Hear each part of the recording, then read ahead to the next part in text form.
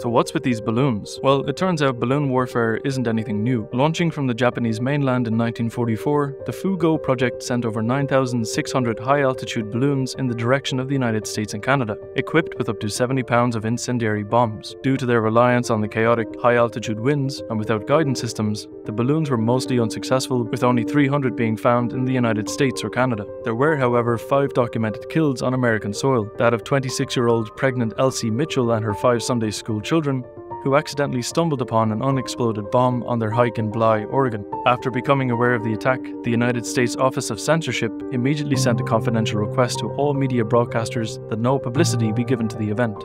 This turned out to be a stroke of brilliance as it caused the Japanese to consider the attack a complete failure, resulting in the abandonment of the Fu-Go project. Remnants of these balloons are still being disposed of today as recently as 2014 in British Columbia, when one was detonated by the Royal Canadian Navy.